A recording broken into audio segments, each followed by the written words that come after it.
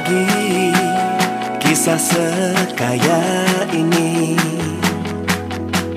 Cerita berkesan dari masa ke masa. Berjuta kemesraan membawa kebahagiaan.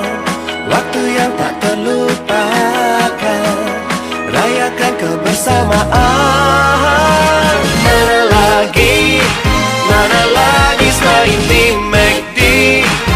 sana ceria semua istimewa